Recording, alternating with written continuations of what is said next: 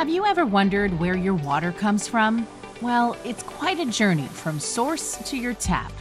So let's take a step back to check this out. From the mountains to the ground beneath your feet, even hundreds of miles away from Northern California, East Valley Water District uses a combination of surface water and groundwater to serve our communities. You might be asking yourself, what's the difference between groundwater and surface water? Groundwater is water underneath the surface of the land beneath your feet.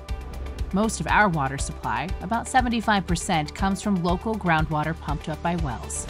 Beneath our feet is what we call the Bunker Hill Groundwater Basin. It's bigger than Lake Shasta. And we can use that storage space beneath us and have that water there available for us when we need it. Surface water, as the name implies, is fresh water above the surface in the form of streams, lakes, and rivers. As part of the Inland Empire, our unique position at the base of the San Bernardino Mountains gives us access to some of the purest water around via the Santa Ana River. Water from this source is received at the North Fork intake box.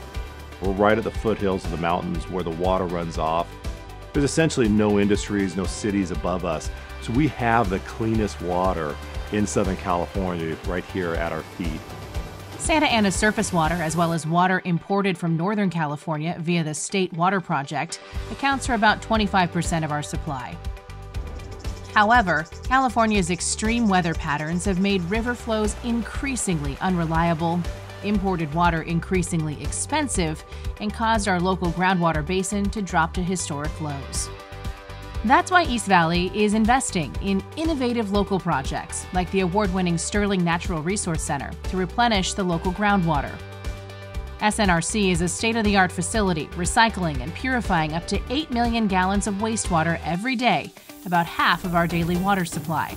After undergoing an extensive treatment process, water is conveyed into the local basin where it soaks into the ground. Water will remain underground for at least a year before it can be pumped up and used again. We're changing the water cycle process to conserve the water, reuse it to the highest benefit we can in our community before we release it downstream. So the next time you grab a glass of water, you know a little more about where it comes from and how East Valley Water District is investing in local resources and cutting edge technology to build a sustainable water future for generations to come.